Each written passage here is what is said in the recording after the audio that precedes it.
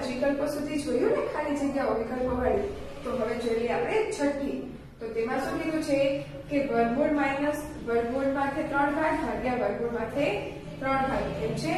એટલે કે વર્ગમૂળમાં ત્રણ, કાઉન્સ ઉપર ત્રણ ભાગ, ભાગ્યા વર્ગમૂળમાં ત્રણ, કાઉન્સ ઉપર ત્રણ ભાગ.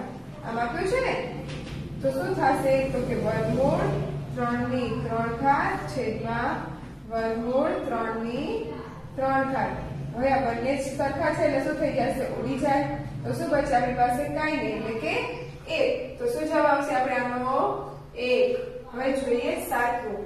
તો તેમાં શું કીધું છે? કે x ની પાંચ ઘાત ગુણ્યા x ની માઇનસ ચાર ઘાત ભાગ્યા x ની બે ઘાત. હવે આમ કીધું છે ને, x ની પાંચ ઘાત ગુણ્યા x ની માઇનસ ચાર ઘાત ભાગ્યા x ની બે ઘાત. તો ફ્રેન્ડ્સ આ બંને બધાના આધાર કેવા છે? સરખા છે? x અને અંશનો શું શું થશે? ગુણાકાર છે તો આ બંનેનો સરવાળો અને ભાગાકાર છે તો આનો શું થશે? બાદબાકી. એટલે કે આમ લખી શકાય x 5 માઇનસ ચાર માઇનસ બે. આમાંથી આ બાદ થાય ને? એટલે કે x તો કે 5 માંથી 4 જાય તો કેટલા બચશે બંનેનો સરવાળો, પરંતુ આ માઇનસ છે ને પ્લસ છે એટલે શું થશે? બાદબાકી.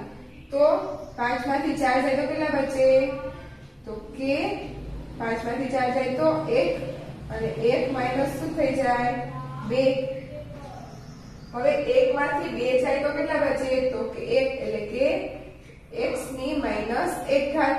આવું બચે ને? હવે આપણે માઇનસ એક ઘાત બચી તો આપણે માઇનસ કાઢવા તો શું કરવું પડે? તો x 1 ના છેદમાં એક્સ. તો ફ્રેન્ડ્સ, શું જવાબ આવ્યો આપણો?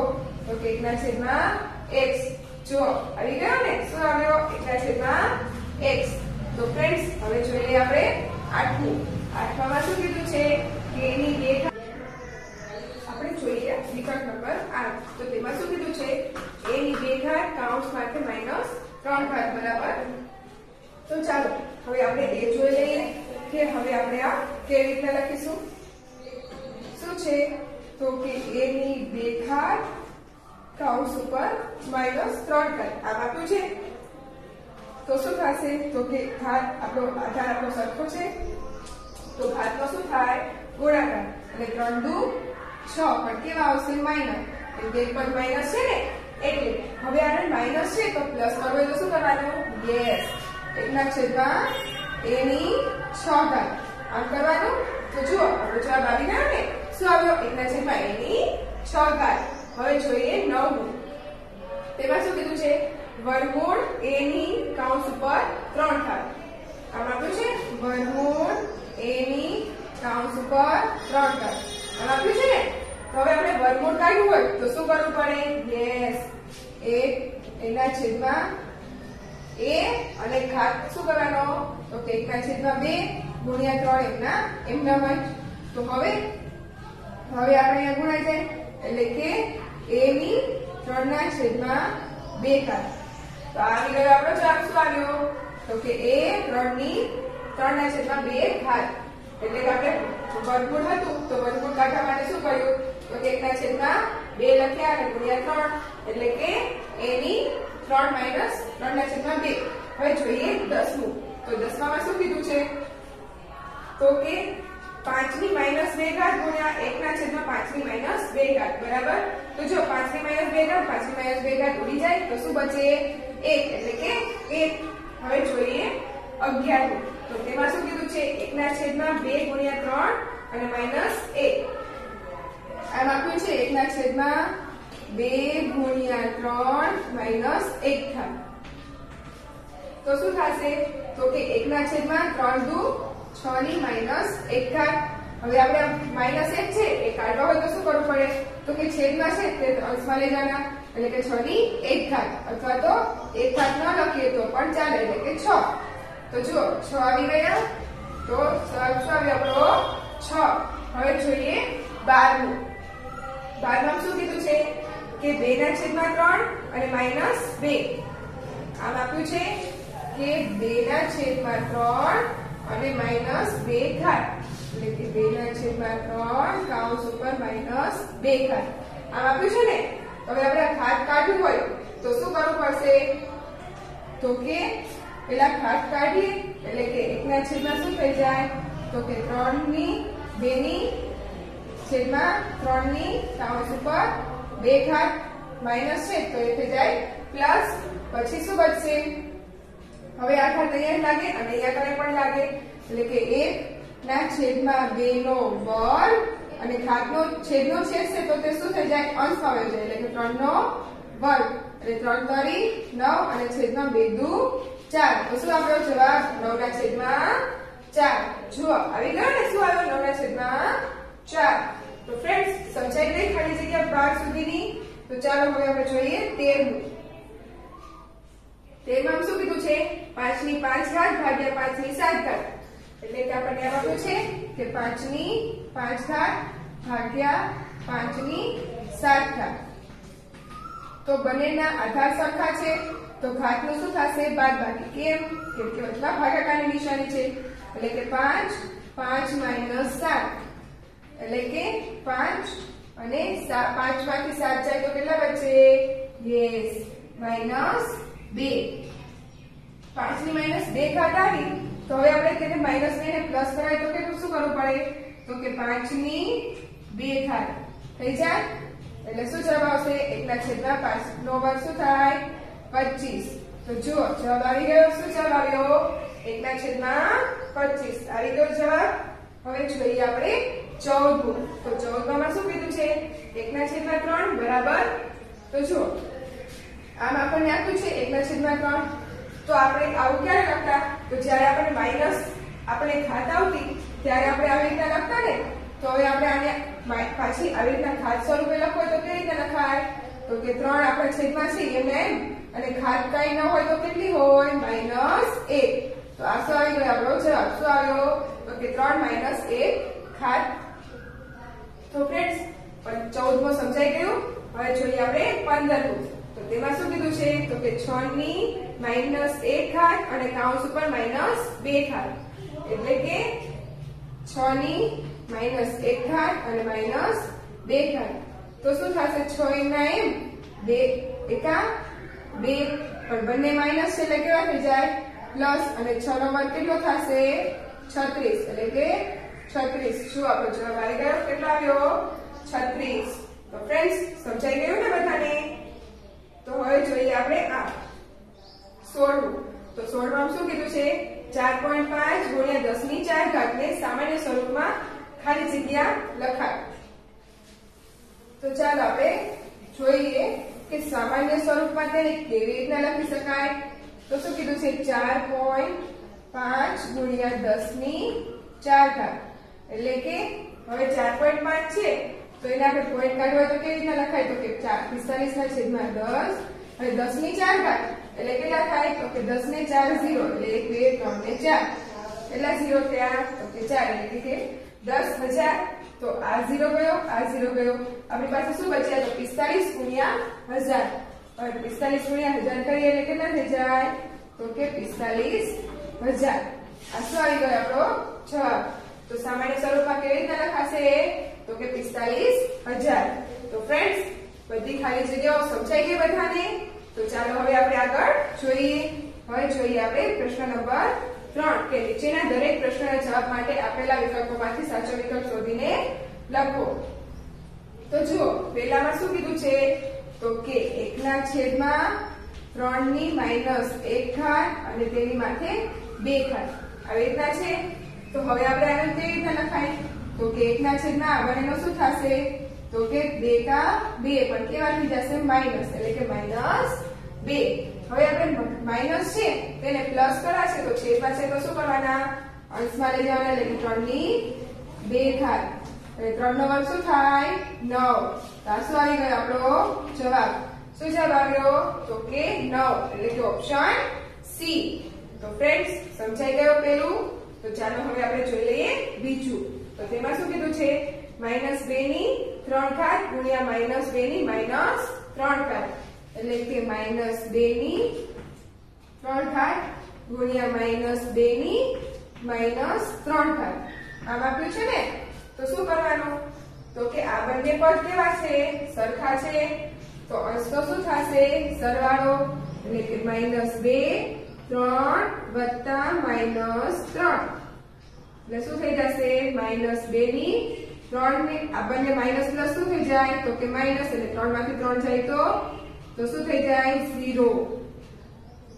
હવે કોઈ પણ સંખ્યાની જો ઝીરો ઘાત હોય, તો શું જવાબ આવે? તો કે એક. એક જવાબ આવે ને? તો આપણો જવાબ શું આવશે? એક. એટલે કે ઓપ્શન એ તો ફ્રેન્ડ્સ સમજાઈ ગયું ને? શું કર્યું? તો કે આપણે બંનેનો સરવાળો કર્યો. તો શું જવાબ આવ્યો? તો કે માઇનસ પ્લસ માઇનસ એટલે કે બાદબાકી થઈ, એટલે કે ઝીરો થઈ ગયા. એટલે કે શું જવાબ આવશે? કોઈ પણ સંખ્યાની ઝીરો ઝીરો હોય, ખાત, એટલે કે જવાબ શું આવે? તો કે એક. હતું ને આપણે આગળ જોયું હતું ને? તો ચાલો હવે જોઈ લઈએ આપણે ત્રીજું. તો તેમાં શું કીધું છે? x ની 5 ઘાત ગુણ્યા x ભાગ્યા x ની 6 ઘાત. આપણને એમ આપ્યું છે ને? તો ચાલો, હવે આપણે કરી લઈશું આપણે તો આનું સાદુરૂપ શું મળશે આપણને. તો કે x ની 5 ઘાત ગુણ્યા x ભાગ્યા x ની 6 ઘાત. આમ છે તો ત્રણેયના આધાર x છે એટલે કે x. તો આનો ગુણાકાર છે તો અંશનો શું થાય? ઘાતનો સરવાળો, એટલે કે 5 વત્તા 1 5 વત્તા 1 ભાગ્યા 6 છે એટલે કે શું થશે? માઇનસ 6 એટલે કે x ની 5 ને 6 5 ને 6 માઇનસ 6 તો શું આવશે? x ની કેટલી ઘાત થઈ જશે? 0 ઘાત. એટલે કે x ની 0 ઘાત હોય તો આપણે શું કરવાનું આવે? જવાબ 1 કોઈ પણ સંખ્યાની 0 ઘાત થઈ જાય તો શું આવે? જવાબ 1 તો ફ્રેન્ડ્સ સમજાઈ ગયો? ત્રણે ત્રણ વિકલ્પો બધાને સમજાઈ ગયા? તો ચાલો હવે જોઈએ આપણે વિકલ્પ નંબર 4 તો ચોથા વિકલ્પમાં શું કીધું છે? કે એકના છેદમાં બે અને માથે બે ઘાત અને કૌંસ ઉપર માઇનસ બે ઘાત. આવી રીતના કીધું છે, એકના છેદમાં બે અને બે ઘાત અને કૌંસ ઉપર માઇનસ 2 ઘાત. આમ આપ્યું છે ને? હવે આ માઇનસ છે, એ આપણે કાઢવા હોય તો શું કરવું પડે? તો કે યસ, એકના છેદમાં એકના છેદમાં બે કાઉન્સ ઉપર બે ઘાત અને મોટા કાઉન્સ ઉપર પાછી બે ઘાત. એમ થઈ જાય? એટલે તો હવે શું થશે? તો કે એકના છેદમાં બે છે એમને એમ જ રહેશે. એટલે કે એકના છેદમાં, તો કે એકના છેદમાં 2 2 દુ ચાર. આમ થઈ જાય. તો હવે આ ચાર ભાગ છે, અહીંયા પણ લાગે અને અહીંયા પણ એ પણ લાગે. એટલે કે એકના છેદમાં શું થઈ જશે?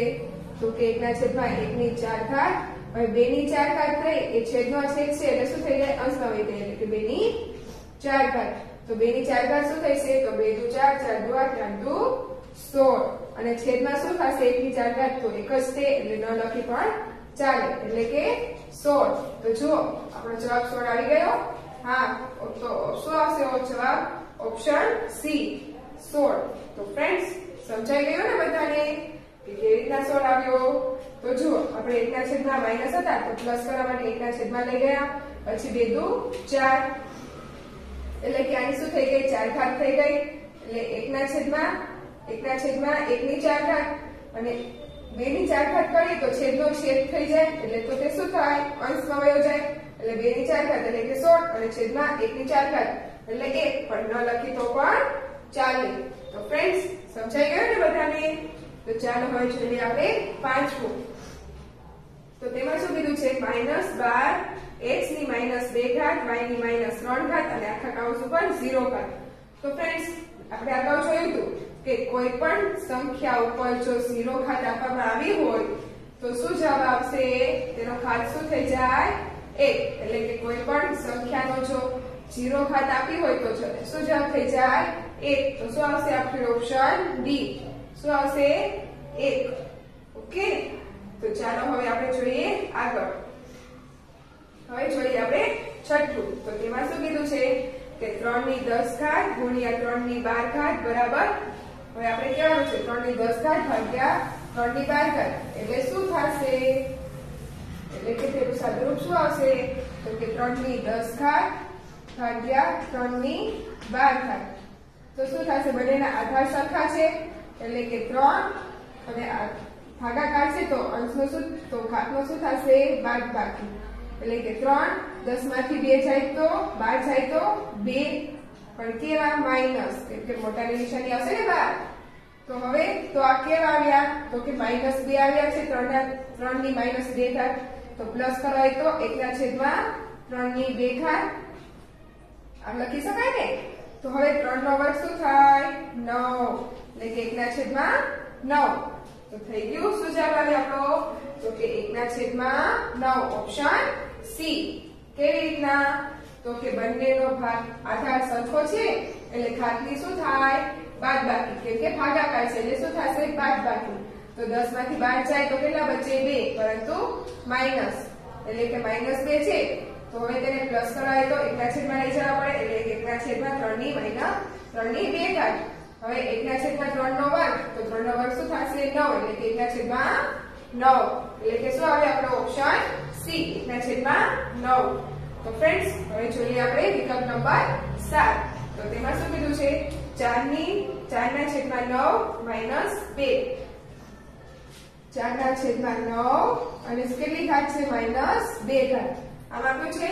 હવે માઇનસ બે ઘાત છે. એ આપણે કાઢવા હોય તો શું કરવું પડે? આના છેદમાં લઈ જવા પડે. તો કે એકના છેદમાં 4 ની 9 ઘાત અને માથે 2 આમ થઈ જાય? તો હવે તો કે એકના છેદમાં ચાર નો વર્ગ, હવે છેદનો છેદ રહ્યો. એને શું થઈ જાય? અલ્ફામાં જાય એટલે કે નવની બે ઘાત.